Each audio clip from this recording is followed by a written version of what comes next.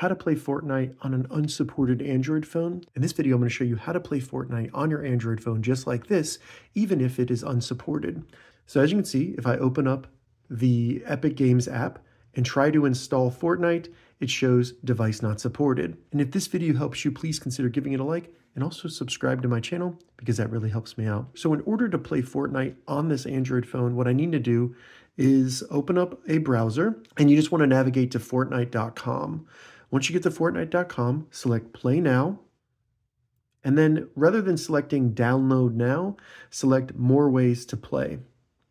So as you can see at the top, it says play now, and we have three different options to play Fortnite on our Android phone without actually having to install it on our Android phone because this phone is not supported. So I recommend trying each of these different options and seeing which one works for you. If you already have an Amazon Prime account, Luna might be the best account for you, but what I'm gonna try is Xbox Cloud Gaming. I'll try that, select that, and then I'll go to play now. So now I'm just gonna sign into my Microsoft account. And if you don't already have one, you can just sign up by creating one. Once I get signed in, it'll take me back where all I need to do is select play. And then it'll start launching the cloud gaming.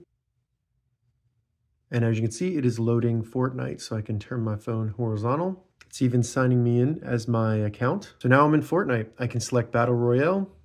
And if it gets out a full screen like this, just select those little dots right there. Then select the three dots and then go to full screen mode, and then you can get back. So now I can play.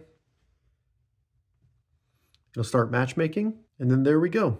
I am now playing Fortnite on my unsupported Android phone. All right, so that's how you play Fortnite on Android, unsupported device. If this video helped you, give it a thumbs up, and please consider subscribing to my channel, Gauging Gadgets. Thank you so much for watching.